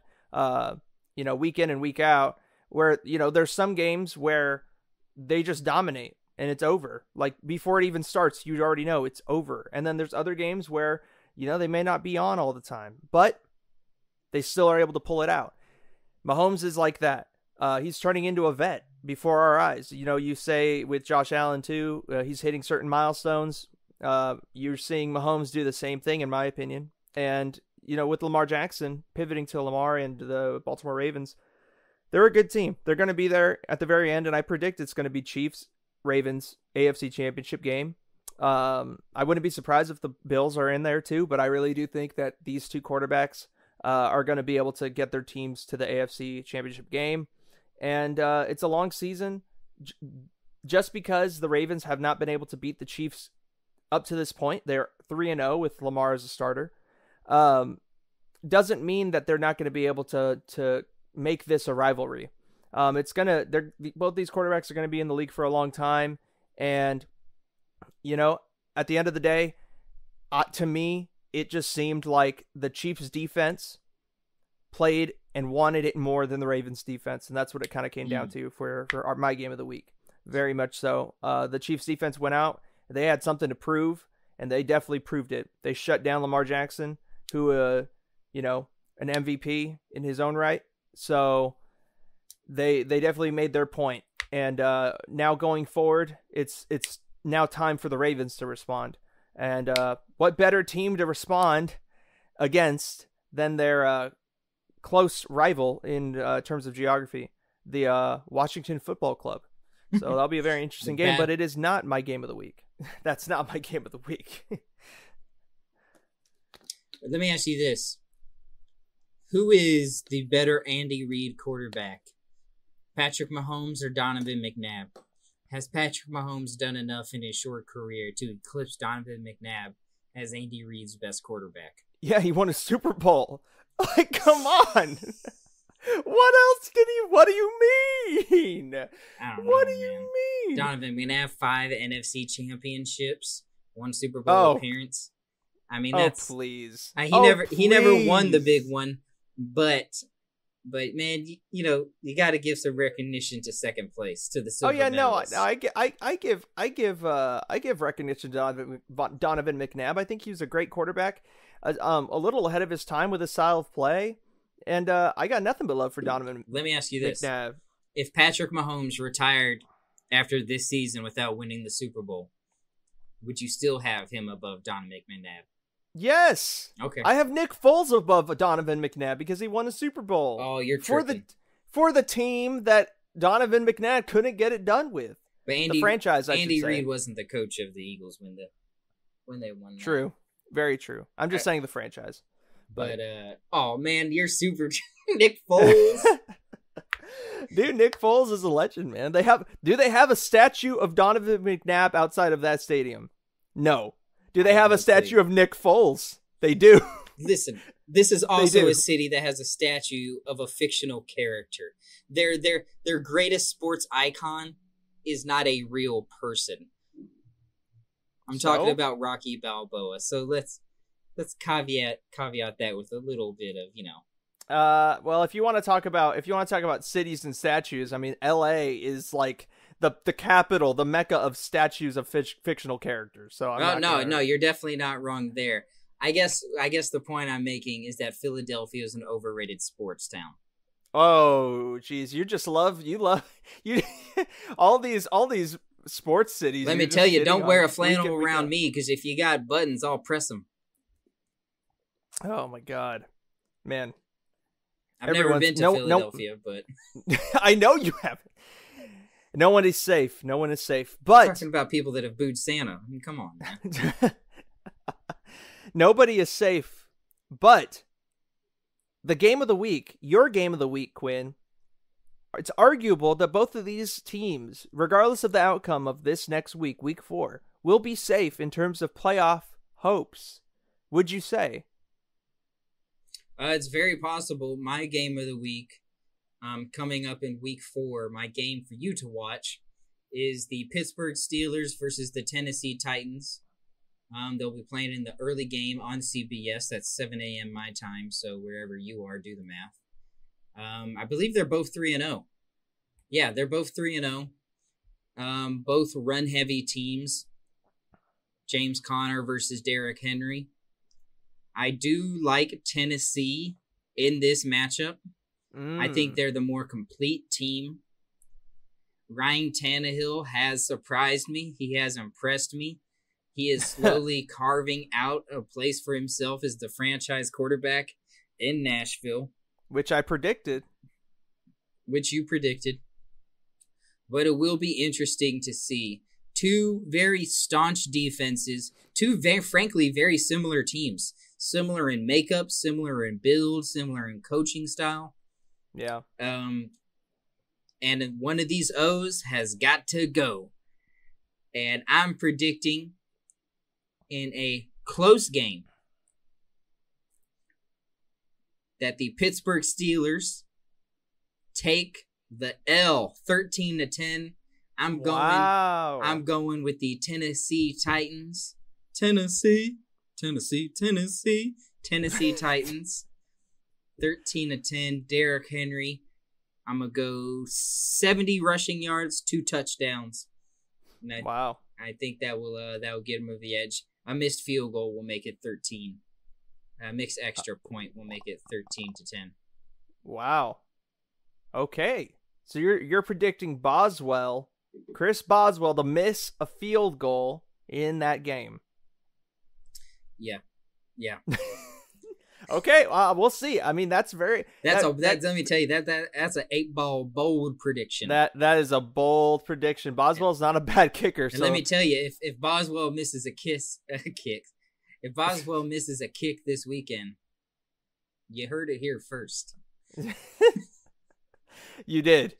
And uh, you know, I will uh, I will concur with you actually. I, I will agree with you. I I think that the Tennessee Titans are the better team. You know, we went into this season, both you and I, with the same feelings against uh, the Steelers. We thought that this team was basically done, and we thought that Big Ben wasn't going to be able to play uh, to this level that he has been. It's surprising, and uh, you know, good for Steelers fans and all. But uh, He's in the American s- Badass part of his Undertaker career. yeah, exactly. And I think that with him, No motorcycle thi- pun intended. Yeah, no I think that uh, it's going to be a more competitive game in terms of scoring than than you think. I think this is a, a game where the defenses kind of become absent. Mm. Um, you know, the defense uh, when uh, the Tennessee Titans played Minnesota last week, the defense kind of just went to sleep. They didn't really do a whole lot in terms of uh forcing any sort of turnovers. Um, I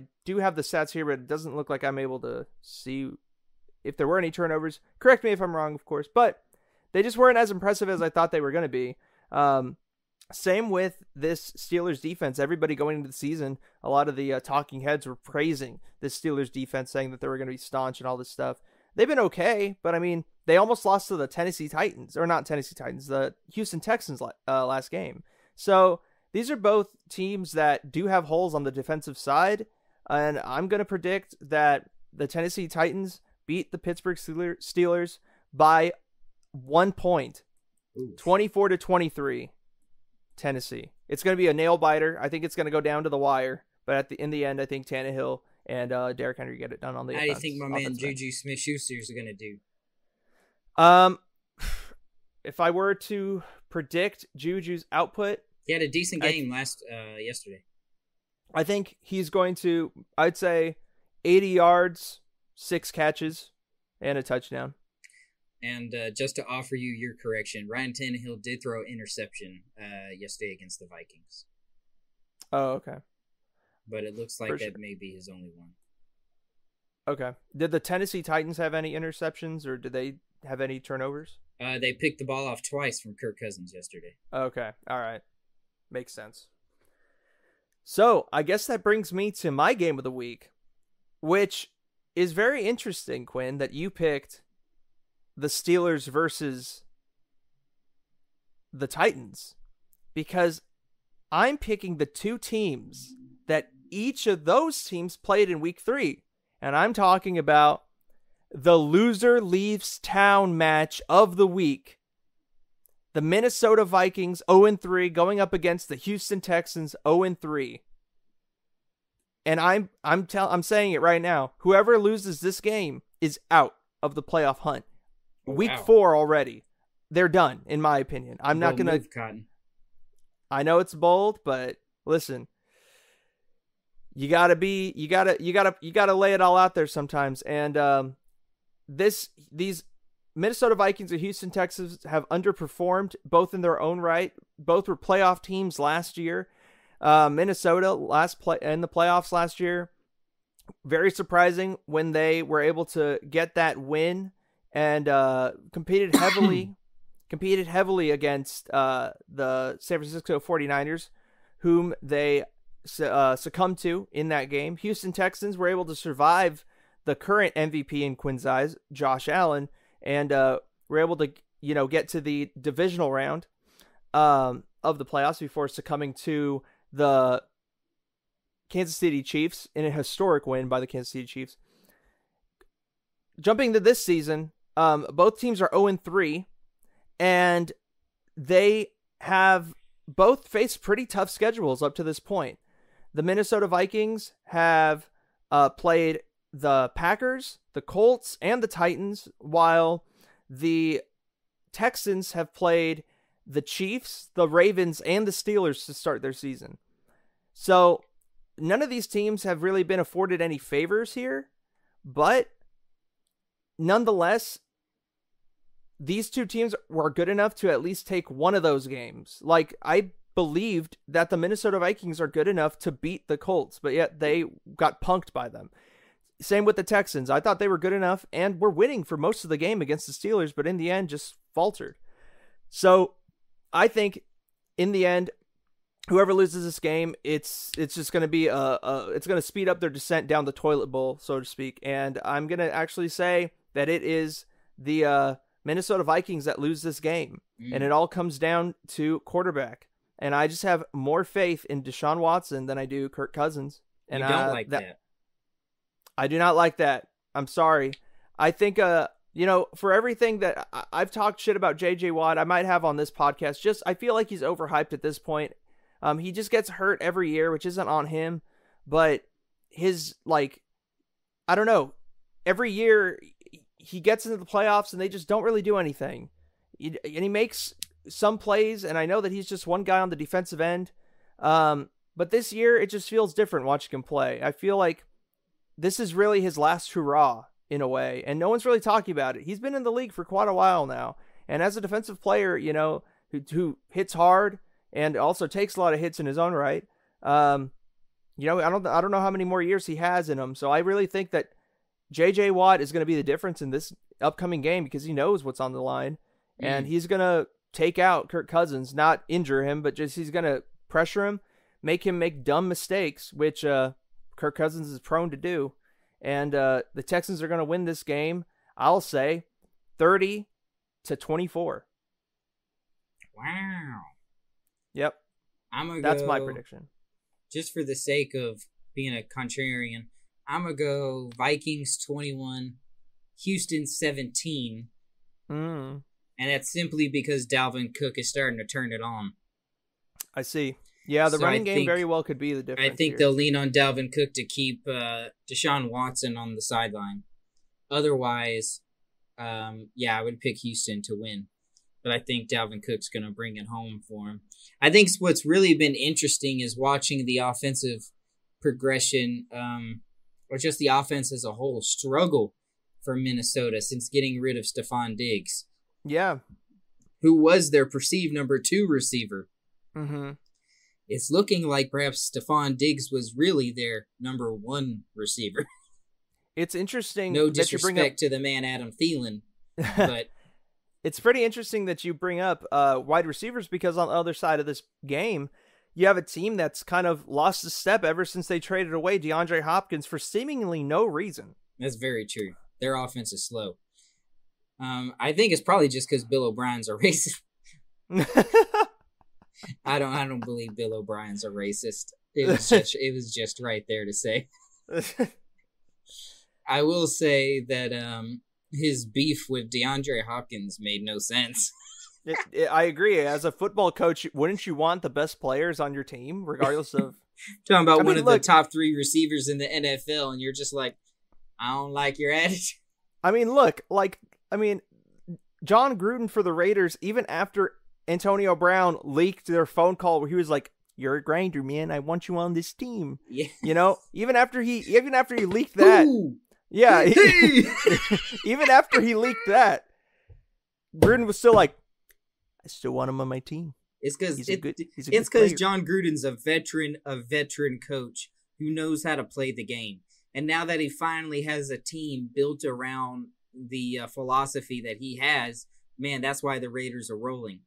Bill Bryan has no offensive philosophy. In fact, here's a bold prediction from Quinkle Tinkle Stars himself.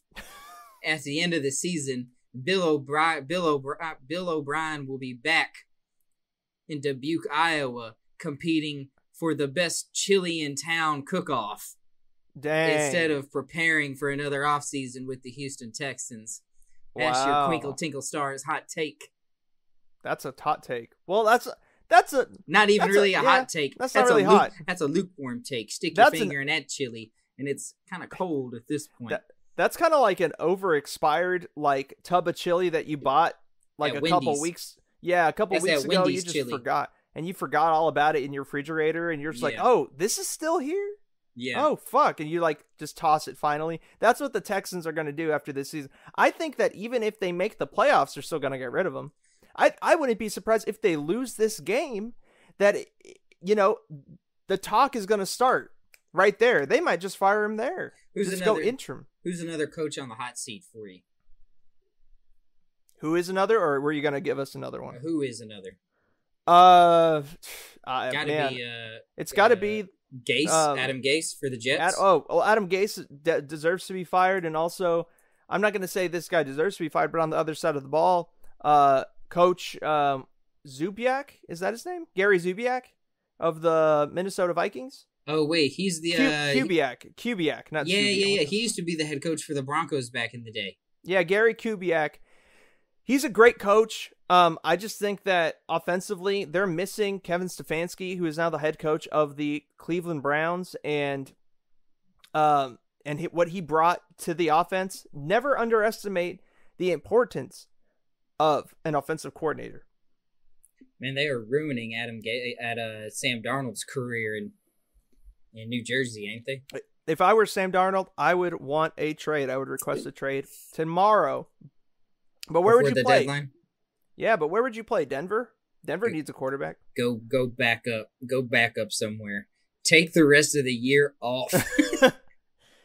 You know, let, if I were let him, your I would- body heal up and and, Yeah. and compete for next year's starting spot. I'd say go to Jacksonville.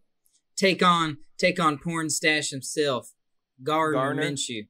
the boy Garner. I would say if I were if I were Sam Darnold and just magically could, you know, wish myself on any team, I would actually try to compete for uh, that Minnesota Vikings job. I know Mm. that they I know that they have a lot of money tied up in Kirk Cousins, um, but seeing how a lot that. of well, of course they do, but seeing as um how NFL contracts kind of just work, they're able to be re- reworked pretty easily under the CBA, and uh, they could shed a lot of that money if they really wanted to, and they wanted to move with Sam Darnold. So I would try to go there. than the Rams. That's for sure. It's true. We're playing true. we're playing Madden with the salary cap turned off. I know, yeah, LA But, uh, Lakers, like I say, but Sam Darnold. Here's another Mhm. spot. Dark Mhm. horse spot. Dallas. no, they just paid Dak. They literally just paid him. Did they re-sign Dak? Yeah, Oh, I didn't know. I thought Really? Dak was going to get franchised at the end of the year. let me make sure that I'm not mistaken on that.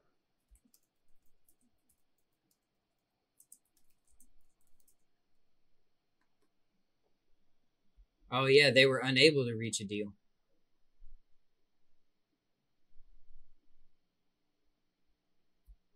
Yeah, they were unable to reach the deal. Yeah, you're right. They do Dak- not have, Dak wants that Jared Goff money. Which I, in my opinion, he definitely he's worth it. I th- I definitely think he's worth it. Yeah. I wonder if yeah, this that- was a secret ploy by the Rams to set the market at all these key positions, just so other teams can't match it with their small town revenue. Maybe. That wouldn't surprise me. Speaking of small town stuff, um, I don't know how that segues us into anything. I mean, there's a lot of people who like documentaries in small towns, but that brings us to our weekly Recs. Hooray! All right. I don't have any weekly Recs for this week, actually, but Quinn has two of them. So, Quinn, what are you? You said there was two documentaries that you wanted to plug this week. There was I'm curious two. what those are. I amended it to one documentary and one food chain. Oh, So pick your poison. Which one would you rather hear first? Entertainment or uh let's do the food chain first. all right. My food chain that I am recommending to you. Let me tell you something. it gets hot as fuck in Sacramento County. That is true. Hot as absolute shit. Gets you're really on your hot. lunch break. You're looking for something to eat. You don't want that hot food. You want something cool. You want Yeah. something to cool you down. Well, I, can agree. think of no better place on old Bruceville Road, right next to the UPS store 1040, our alma mater. Go get you a spicy poke bowl Oh.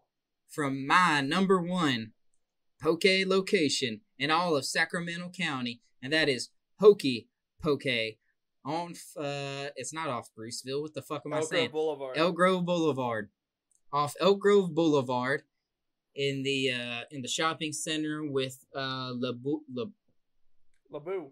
Labu, uh, Dollar Tree. Dollar Tree. UPS Thai store chili. 1040, Thai chili. But most importantly, skip all that shit. Go straight to Hokey Poke.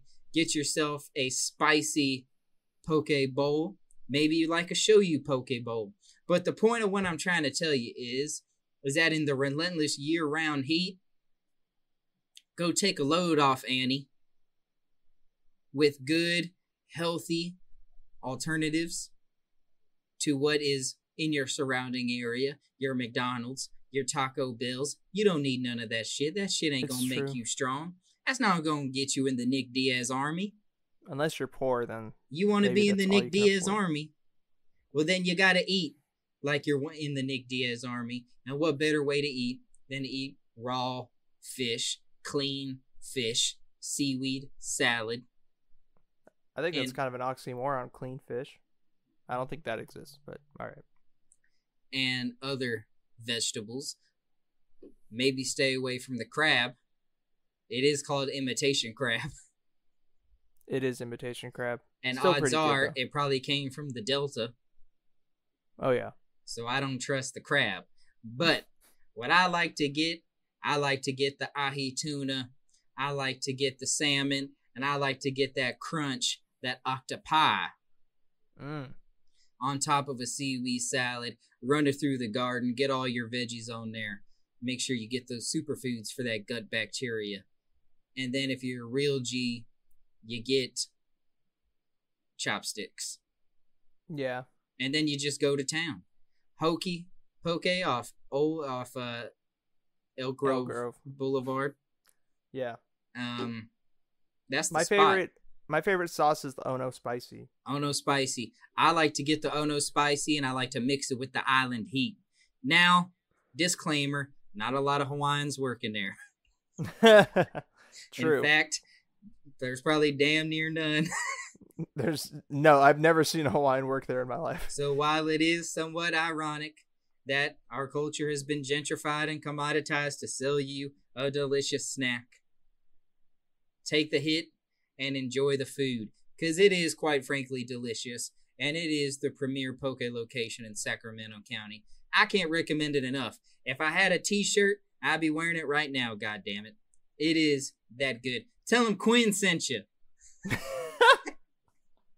See what that what gets what'd you. you call what, what'd you call yourself? Qu- Quinkle toes or whatever. what'd you call yourself? Twinkle Tinkle toes? Stars. Yeah, Quinkle. The- Tinkle Stars. My first my first ever gamer tag on Really? Xbox in our clan, Clan 270, Call of Duty Modern Warfare, the undefeated crew. Wow. Uh, my gamer tag was Quinkle 81. wow.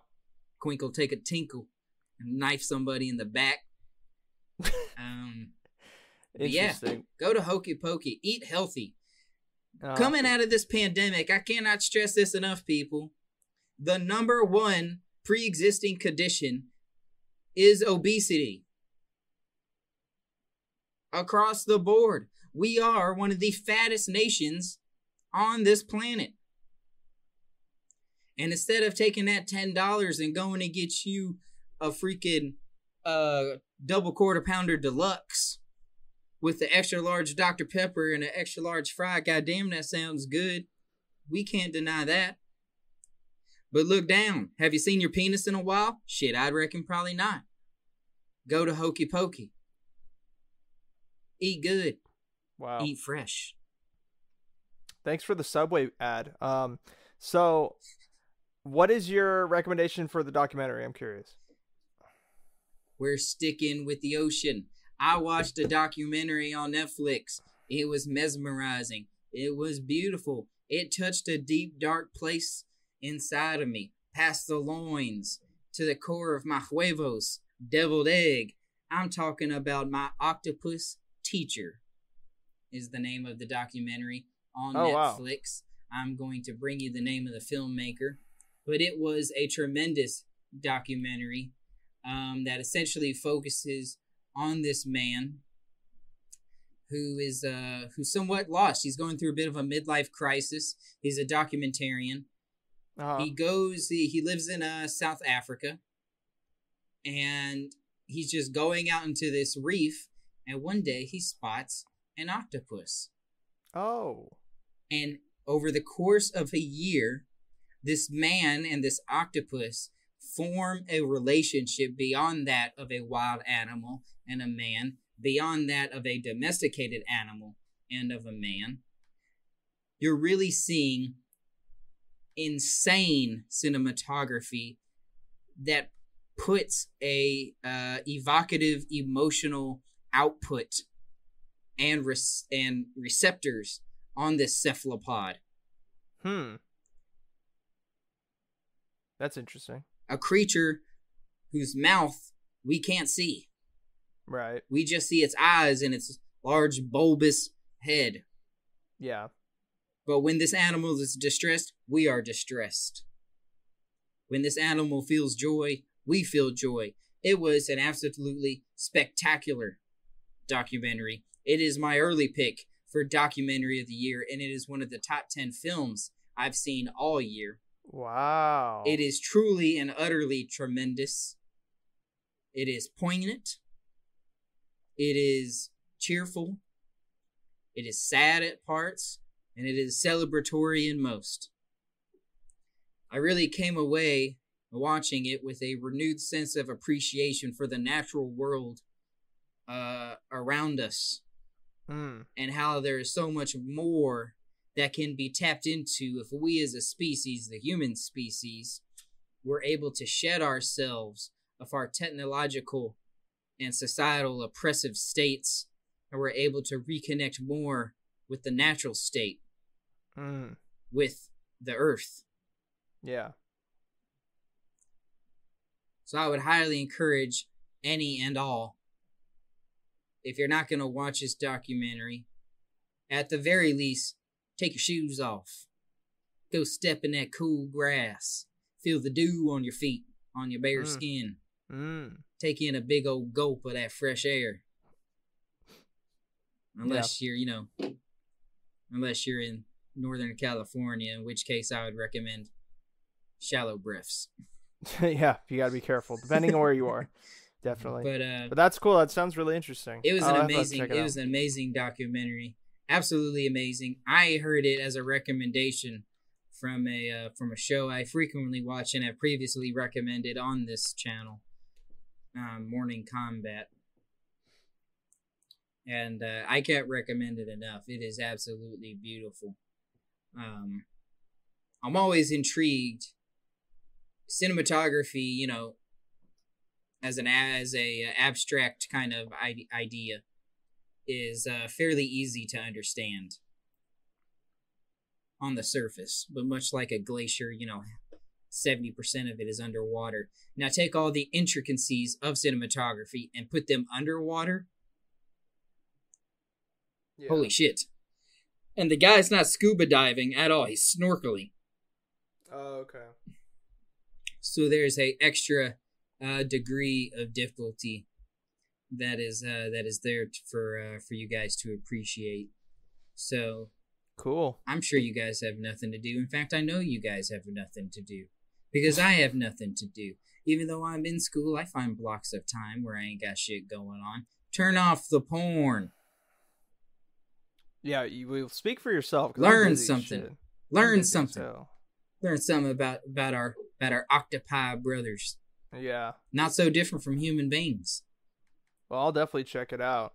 But it seems like we're about at that time. We're almost at two hours now. So I will, it is time to bid everybody in to do. Thank you for listening to this episode of the Closers Podcast.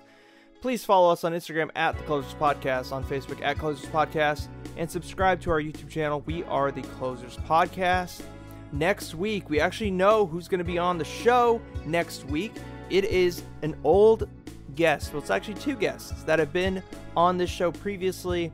Um, in the first season, towards the end of the first season, I had a band on from New York called The 12th Human.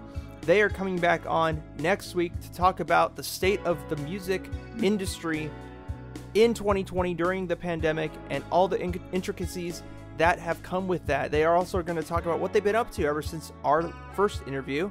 Um, they've been up to a lot of cool stuff. A lot of cool stuff. So it'll be really cool to catch up with them.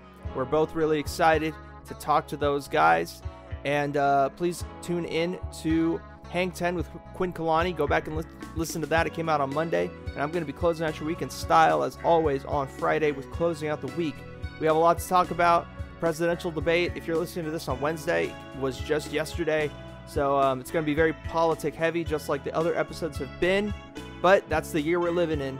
2020 is an election year, therefore there's a lot of politics on the on the on the line. So that's what we're going to be talking about.